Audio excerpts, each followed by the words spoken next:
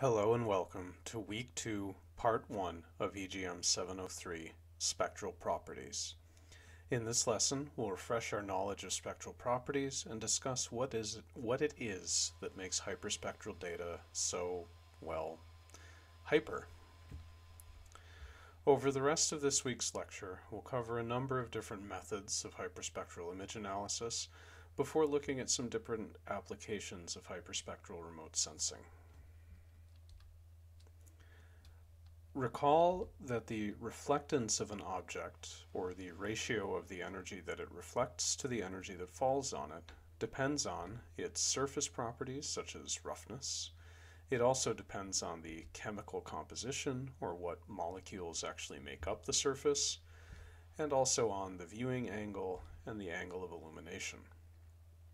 For example, leaves on healthy chlorophyll producing plants absorb light in the red and blue visible wavelengths, leaving mostly green light to be reflected.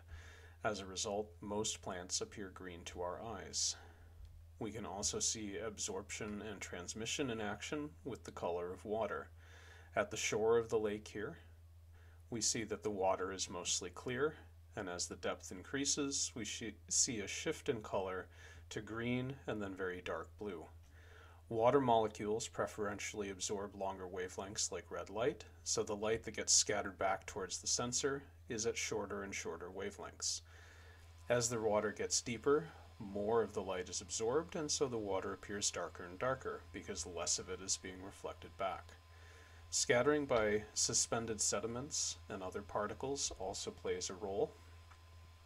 Because most of the light that is transmitted into the water column is preferentially shorter wavelengths, the light that's scattered back appears more green and blue, again, depending on the depth. All of this is to say that objects or surfaces reflect differently at different wavelengths. Before we keep going, we have to lay out a few definitions. First, the spectral reflectance of an object or surface, rho sub lambda seen here, is the reflectance of an object for a given wavelength lambda.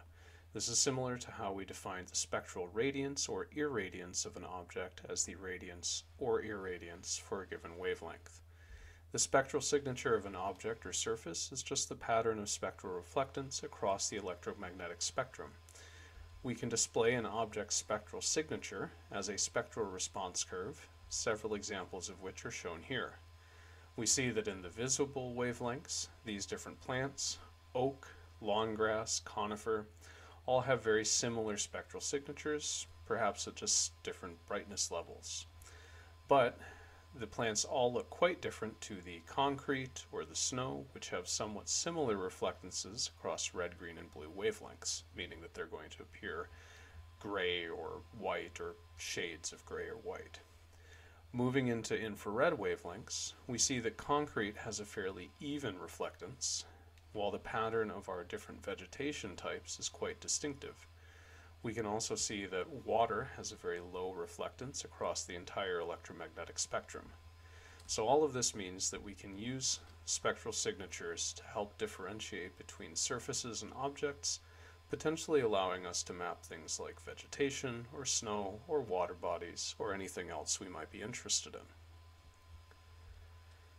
In order to use the spectral properties of different objects, though, we first have to measure those spectral properties. In the field or in the lab, we use an instrument called a spectrometer. A spectrometer, seen here in action somewhere in Arizona, takes the incoming light and breaks it into its individual spectral components, similar to how a prism works. It then records the reflectance of the object at those different wavelengths. In other words, it, it records a bunch of spectral reflect reflectances. We often need to take multiple measurements of multiple surfaces or multiple samples, as even the same material can have a variable spectral signature. Remember again, the amount of energy that's reflected depends on surface properties as well as the illumination angle or the viewing angle. Instead of a field spectrometer, we can also use a hyperspectral camera. This is an instrument that records radiation in a large number of wavelengths. And of course, we will be talking more about this as we continue through this week's lecture. We can also use some satellite images because some sensors record in a large number of wavelength ranges or bands. If we know exactly what we're looking at in a given image, we can use this information to estimate the object's spectral signature. In this course so far, we've primarily studied multispectral sensors. These are sensors with more than one band. For example, we've looked at a number of different Landsat sensors, sensors including the multispectral scanner or MSS, the thematic mapper, enhanced thematic mapper plus, and so on. One characteristic of most multispectral systems is that the bands have a varied width. If we looked at the at the bandwidths on this plot here, we see that they aren't all the same size. Not only that, but they also aren't continuous. There are gaps between successive bands where the sensor doesn't actually record data. Hyperspectral systems, on the other hand, are also known by another name, imaging spectrometers. They are characterized by narrow, continuous bands. Note that it's not necessarily the number of bands that makes a sensor hyperspectral, but rather the fact that the bands are typically of a uniform width and they are continuous. Some examples of hyperspectral sensors that we'll learn a bit more about are the Airborne Visible and Infrared Imaging Spectrometer, or AVIRIS, or the Hyperion sensor carried by the Earth Observing 1 satellite. On the plot here, you can see the 220 bands of the sensor, which range from 357 nanometers all the way up to 2,576 nanometers in about 10 meter or 10 nanometer increments. If we take a minute to look at this plot here, we see a spectral signature for some type of vegetation. I think it was an oak leaf in black, as well as what the Landsat 8 or 9 operational land imager and the Sentinel-2 multispectral imager sensors would see. These are the red and blue curves here. Note that the multispectral sensors capture the general shape of the curve, but there's a number of very pronounced absorption bands, for example here at about 1400 nanometers and at 1900 nanometers, that are missing from these curves. The coarse spectral resolution of multispectral sensors can make it significantly more difficult to, to correctly identify objects. If, on the other hand, we take a look at what a hyperspectral sensor sees, we see the difference, and we also see why hyperspectral sensors are called imaging spectrometers, because they record in many narrow continuous bands, they are able to faithfully capture the spectral signature of these surfaces. Next up, we'll look at the characteristics of a few different hyperspectral systems. The first of these, the Airborne Imaging Spectrometer, records in 128 bands with a bandwidth of 9.3 nanometers. It operates in two different modes, a tree mode between 400 and 1200 nanometers, and a rock mode between 1200 and 24 nanometer, 2400 nanometers. The reason for the names here is that for most vegetation, visible and near-infrared wavelengths are the most important for identification, while for rocks and minerals, it's often the shortwave infrared that is more useful. This sensor was typically flown at an altitude of about 4,200 meters, which gives it a ground sampling distance of about 8 meters. Next up, we have the Airborne Visible and Infrared Imaging Spectrometer, or AVIRIS. You can see what this sensor looks like in the photo provided by NASA's Jet Propulsion Laboratory here, an example of one of the images taken by AVIRIS over Mauna Kea, Hawaii here. AVIRIS has 224 bands with a bandwidth of 9.6 nanometers, recording between 400 and 2450 nanometers. At a typical flying altitude of 20 kilometers, AVIRIS has a normal ground sampling distance of 20 meters.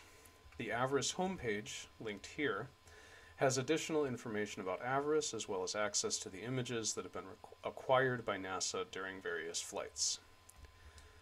And finally, we will talk about the Earth Observing 1 Hyperion, which is a spaceborne hyperspectral sensor.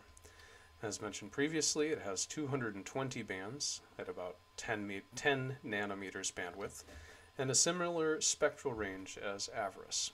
It also has a 30 meter ground sampling distance, which is directly comparable to most Landsat bands. The example image shown here shows a Hyper Hyperion scene acquired over Mount Fuji, Japan, alongside an artist's rendering, rendering of the EO1 satellite. In this lesson, we've reviewed how we can use spectral properties and signatures to help identify or distinguish objects and surfaces using remote sensing.